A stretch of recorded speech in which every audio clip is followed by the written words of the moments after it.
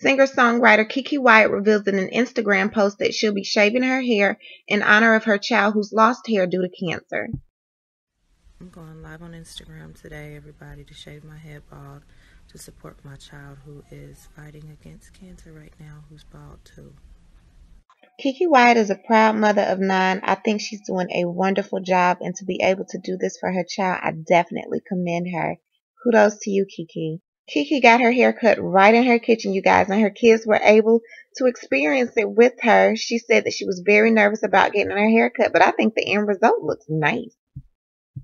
I don't know, you guys. I'm really feeling this look on her. I think she looks beautiful. I'm glad for the cause that she did it for. I'm sure her child is happy. Something about this bald head look on women lately is is really bringing out their beauty. I love it.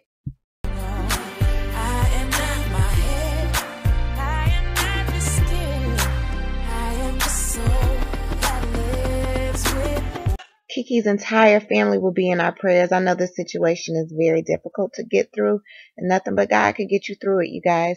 So you guys leave a comment, like, share, and subscribe. Tell me what you think about Keke's new look. I love it.